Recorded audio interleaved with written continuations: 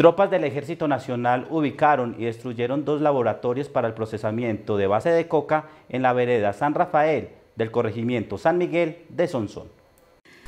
Las estructuras pertenecientes a la banda de los chatas estaban situadas en un terreno de difícil acceso, siendo finalmente detectados por parte del ejército en el momento en que sus hombres se encontraban patrullando, de acuerdo a orden de las operaciones en el área.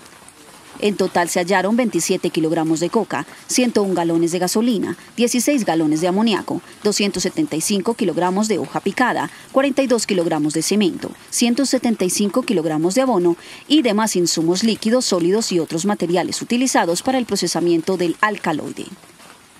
Con la desarticulación de estos dos laboratorios se afecta de manera significativa el subsistema de finanzas del grupo delincuencial, el cual no solo busca comercializar los estupefacientes que produce en las cabeceras municipales del oriente antioqueño, sino también en el área metropolitana del Valle de Aburrá.